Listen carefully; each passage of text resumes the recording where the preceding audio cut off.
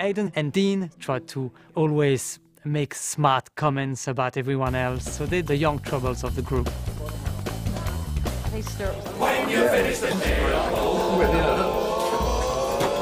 In, in some feet ones. Ow! John. These boys. We should be holding hands for this one as well. I think you can do what you want, boys, because I've obviously killed him. So he's dead already. So No, you he's just- not. He's dead. He's dead. I got him right between the eyes. Dino has a spade. If anyone, sure you if anyone needs a spade, I've got it. He's got a spade.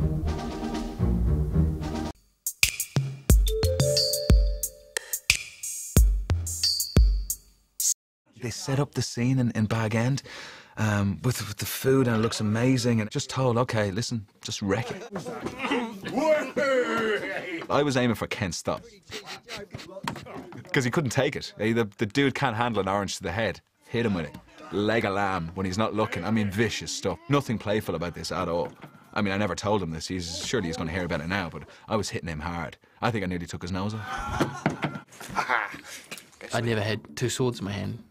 Obviously, why would I have two swords in my hand? My first day on a green screen, standing on Aidan's shoulders. He came up to me my, just before I shot. I meant, "I've got some good ball crushing scenes for you in this one because I was wearing this harness and you know it's kind of strangling the lads.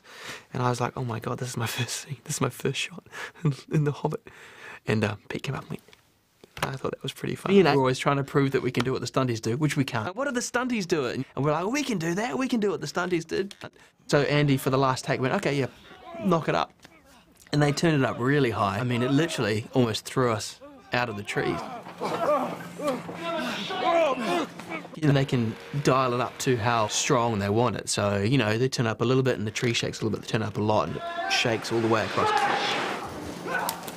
And then I sort of fell back, and as I fell back, the tree came forward and like smashed me on the chest.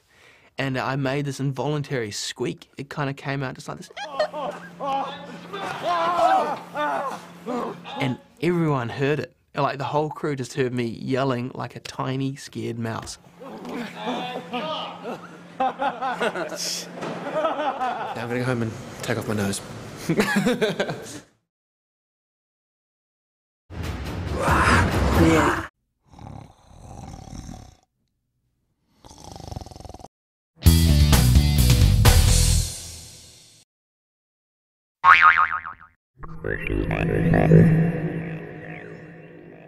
Well, that's good.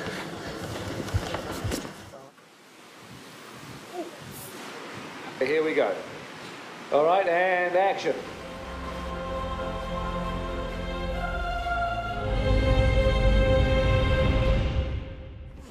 It's a sight for sore eyes, isn't it? This is the best place to have YouTube. If I could get my hands to your house. Funny thing is that, like, everybody gets our names wrong. Fili. Uh, no shit. Sorry. Kili. Yeah.